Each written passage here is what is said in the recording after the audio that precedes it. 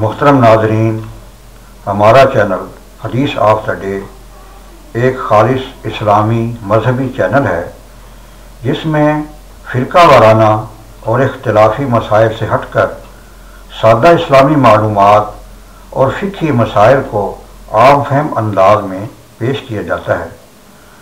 اگر آپ نے ابھی تک ہمارے چینل کو سبسکرائب نہیں کیا، تو ویڈیو میں موجود دائیں طرف سرخ رنگ کے بٹن پر کلک کریں تاکہ آپ کو ہماری آنے والی نئی ویڈیوز کے بارے میں مکمل رہنمائی ملتی رہے۔ شکریہ۔ الحمد للہ رب العالمین۔ والصلاة والسلام على اشرف الانبیاء والمرسلین۔ سیدنا و مولانا محمد وعلى آلہ وصحبہ اجمعین۔ اما بعد۔ قال اللہ تبارک و تعالی فی القرآن المجید والفرقان الحمید، اعوذ باللہ من الشیطان الرجیم، بسم اللہ الرحمن الرحیم۔ ان الصلاة کانت علی المؤمنین کتاب موقوتا، صدق اللہ العظیم۔ وقال النبی صلی اللہ علیہ وسلم، الوقت الاول من الصلاة رضوان اللہ، والوقت الاخر عفو اللہ۔ رواہ ترمزی او کما قال النبی صلی اللہ علیہ وسلم۔ ارشاد باری تعالی ہے، بے شک نماز اپنے وقت پر مسلمانوں پر فرض کی گئی ہے۔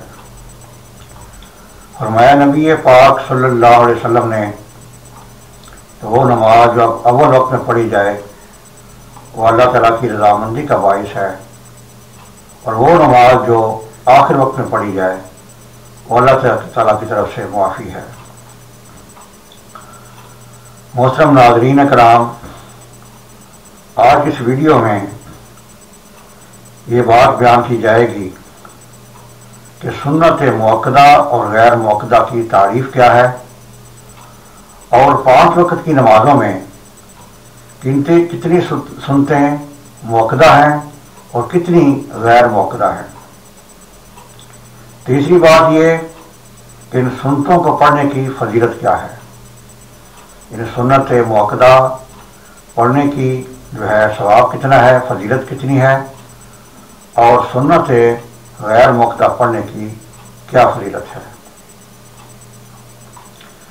تو سنت موقع غیر موقع کی تعریف یہ ہے کہ وہ سنتے جو نبی پاک صلی اللہ علیہ وسلم نے جن پر تاکید فرمائی ہے پڑھنے میں۔ جو آپ تاکیدن پڑھتے رہے، کبھی آپ نے چھوڑی نہیں، وہ سنت معقدہ ہے۔ یعنی معقدہ تاکید سے ہے۔ مسئلہ یہ کہ وہ سنتیں جو نبی پاک صلی اللہ علیہ وسلم نے ہمیشی کے ساتھ ادا کی ہیں۔ انہیں سنت معقدہ کہا جاتا ہے۔ اور وہ سنتے جو نبی پاک صلی اللہ علیہ وسلم نے کبھی ادا فرمائی ہیں، کبھی چھوڑ دی ہیں، انہیں غیر موقع کہا جاتا ہے۔ تو پانچ وقت کی نمازوں میں بارہ سنت موقع ہیں۔ یعنی فجر کی دو سنتے فجر کی نماز کی دو سنتے یہ موقع ہیں۔ ظہر کی نماز کی چار سنتے نماز سے پہلے اور دو سنتے نماز کے بعد چھ سنتے ہیں یہ موقع ہے دونوں آٹھ مل کر آٹھ سنتے ہوں گے۔ اس کے بعد مغرب کی نماز جب تین فرض فرائض کے بعد دو سنتے ہیں، وہ موقع ہے۔ دس ہو گئے۔ اس کے بعد عشاء کی یعنی جماعت کے بعد دو سنتیں پڑھی جاتی ہیں۔ یہ موقع ہیں یہ کل بارہ سنتیں موقع ہیں پانچ وقت کی نمازوں میں۔ حدیث میں آتا ہے کہ جو آدمی ان بارہ سنتوں کو پڑھے گا یعنی سنتیں چھوڑے گا نہیں، تو وہ اللہ تعالیٰ کے فضل و کرم سے جنت میں داخل کیا جائے گا۔ یعنی جو آدمی دن بھر میں جو پانچ نمازوں کی بارہ سنتیں ہیں، انہیں چھوڑے گا نہیں، اچھی طرح سے نماز پڑھے گا، خوشبو خلو سے نماز پڑھے گا، اور ان سنتوں کو بھی ادا کرے گا۔ تو اللہ تبارک تعالیٰ اپنی رحمت کاملہ سے اسے جنت میں داخل فرمائیں گے۔ اس کے بعد یہ ہے کہ جو سنت غیر موقع وہ کون سی ہیں؟ اثر کی نماز سے پہلے چار سنتے یہ غیر موقع ہے عشاء کی نماز سے پہلے، جماعت جماعت سے پہلے چار سنتیں جو پڑھی جاتی ہیں، یہ غیر موقع ہیں۔ غیر مقدہ سنتوں کو پڑھنے کا حکم یہ ہے، اگر کوئی آدمی ان سنتوں کو پڑھ لے گا، اسے بہت زیادہ فضیلت سواب حاصل ہوگا۔ اگر چھوڑ دے گا تو گناہ نہیں ہے۔ یہ غیر مقدہ سنتوں کو پڑھنے کی یعنی کہ طریقہ ہے، یا یہ اس کا حکم یہ ہے کہ اگر کوئی آدمی اثر کے پہلے، جماعت سے پہلے کی چار سنتے پڑھے گا اس کو بہت زیادہ سواب ملے گا اور جو عشاء کی نماز سے جماعت سے پہلے چار سنت پڑھے گا بہت زیادہ سواب حاصل ہوگا۔ اگر نہیں پڑھے گا تو اس پر گناہ نہیں ہوگا۔ اب مسئلے کی بات یہ ہے کہ سنت موقع اور غیر موقع کیسے پڑھی جائیں گی؟ جو غیر موقع اس میں یہ ہے کہ آدمی پہلی رکعت میں سبحان اللہ الحمد للہ پڑھ کے صورت ملائے گا۔ یعنی غیر موقع جو ہیں، اس میں پڑھنے کا طریقہ یہ ہے کہ یہ پڑھے گا یعنی پہلی رکعت میں بھی ایسے ہی، دوسری رکعت میں بھی ایسے ہی۔ یعنی دوسری رکعت میں علمشی پڑھنے کے بعد صورت ملائے گا، اس کے بعد وہ اتحیات میں بیٹھ جائے گا۔ اتحیات میں وہ تشہد پڑے گا اتحیات اللہ وسلامات ہو تو یہ بات ہو اس کے بعد دور پاک پڑے گا سور ابراہیمی اس کے بعد وہ دعا پڑے گا، مگر سلام نہیں پھیرے گا۔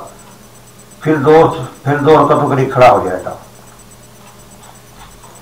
یعنی یہ سنت ہے، غیر مقدہ پڑھنے کا طریقہ ہے کہ تشہد کے بعد وہ دور پاک بھی پڑے گا، دعا بھی پڑے گا۔ مگر سنت موقع میں صرف تشہد پڑے گا، اس کے بعد وہ چاروں رکتوں میں، جیسے یہاں میں عرض کیا ہے سورت ملائے گا یعنی سورت ملانا چاروں چاروں چاروں رکتوں میں۔ یہ دو دونوں میں ہے موقع غیر دونوں میں ہے کہ چار رکاتیں چاروں رکاتیں بھری پڑے گا۔ اور اسی بعد صورت ملائے گا موقع میں غیر موقع میں۔ فرق صرف یہ ہے کہ اتحیات میں سنت ہے موقع میں وہ تشہد کے بعد کھڑا ہو جائے گا اور سنت غیر موقع میں وہ دور پاک پڑے گا اور دعا بھی پڑے گا، پھر سلام کہہ دے گا۔ یعنی یہ پڑھنے کا طریقہ ہے۔ اب مسئلہ کی بات یہ ہے، اگر کسی آدمی کی فجر کی پہلی دو سنتیں قضا ہو جائیں یعنی وہ اس وقت مسجد میں آیا جبکہ جماعت کھڑی ہو چکی تھی، اب وہ کیا کرے؟ اس میں دو قول ہیں؟ ایک قول یہ ہے، یہ آدمی دو رکت سنتے جو ہیں، وہ پڑھ لے پندا بابل مسجد یعنی اگر کمرے میں جماعت ہو رہی ہے، وہ سہن میں پڑھ لے۔ اس کے بعد اسے یقین ہے کہ میں جماعت کو پالوں گا، تو وہ سنتیں پڑھ کر جماعت میں شریک ہو جائے۔ ایک اس کے ایک قول تو یہ ہے۔ دوسرا قول یہ ہے کہ وہ جماعت میں شریک ہو جائے۔ اور فجر کی دو سنتے ہیں سورج نکلنے کے بعد پڑھ لے یا وہ نہ پڑھے، یہ دونوں قول ہیں؟ اور اس میں تین تین طریقے ہو گئے۔ پہلا طریقہ یہ کہ اگر اسے یقین ہے کہ میں دور کا سنتے فجر کی پڑھنے کے بعد جماعت میں شریک ہو جاؤں گا، تو سنتے پہلے پڑھے بعد میں جماعت شریک ہو جائے۔ دوسرا طریقہ یہ ہے کہ وہ سنتوں کو سورج نکلنے کے بعد پڑھے۔ تیسرا کور یہ کہ نہ بھی پڑھے کیونکہ سنتے قضا ہو گئی ہیں۔ اب ان کی ان کی ادا ادائیگی نہیں ہے۔ تین کور میں جس طرح بھی چاہے عمل کر سکتا ہے۔ اگر اس کی فجر کی جماعت فوت ہو چکی ہے۔ سوتا رہا تو اس نے اب اپنی نماز جو قضا کرے گا تو دو سنتے بھی ساتھ ہی پڑھے گا۔ یعنی دو سنت فجر سنتے اس کے بعد دو فرض۔ یہ نماز فجر کی قضا ہوگی اگر۔ بقیہ نمازوں میں ہی ہے کہ وہ سنتے نہیں پڑے گا بلکہ فرائض پڑے گا۔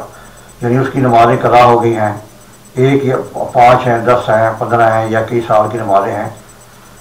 جب ان کی ادائیگی کرے گا تو فرائض پڑے گا یا وطر پڑے گا؟ مگر یہ جو مثلا آج کی نماز قضا ہوگی اس کی، فجر کی، تو دو سنتے پڑے گا اور دو فرض بھی پڑے گا۔ دوسرا مسئلہ یہ ہے کہ کسی آدمی کی ظہر کی پہلی چار سنتے ہیں یعنی اس نے نہیں پڑھی تو جماعت کھڑی ہوگی۔ اب ان کو جماعت کے بعد وہ کیسے پڑھے؟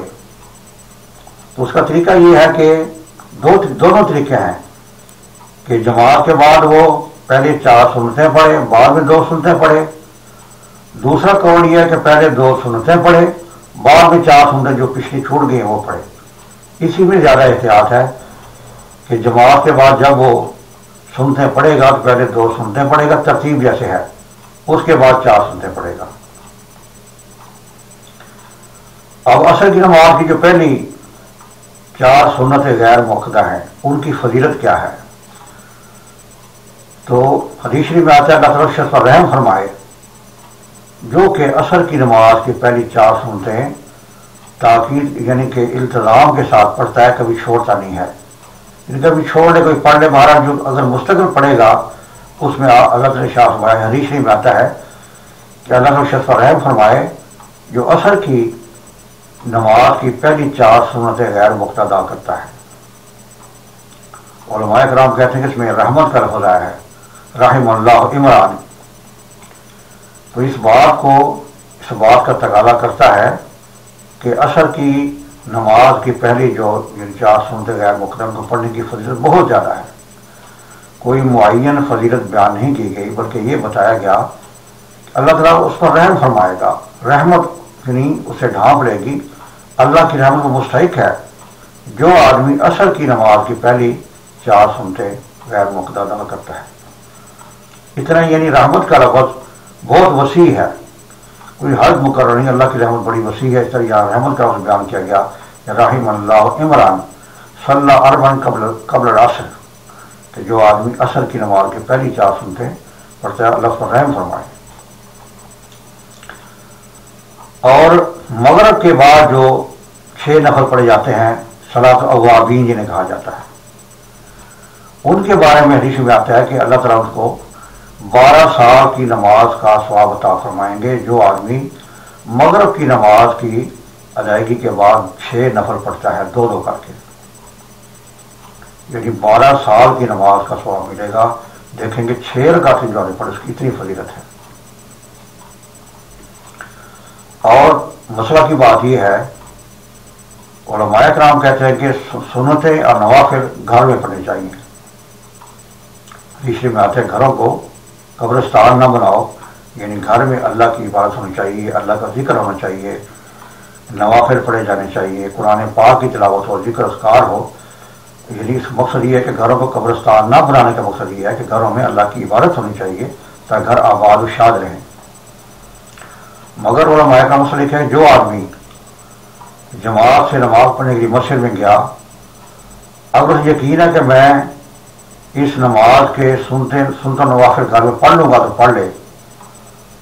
اور اسے یہ شک ہو کہ میں جاؤں گا، کوئی نہ کام نکل آئے گا، پڑھوں یا نہ پڑھوں، تو مشرق پڑھ لے تو بھی جائز ہے۔ بہرحال یہ نماز کے سنتوں کا بیان ہے۔ الگ الگ دعائیں مجھے اور آپ کو اچھے عمال کرنے کی توفیق عطا فرمائے، خاتمہ ایمان پر فرمائے۔ ہمارینہ عید البلاغ مبین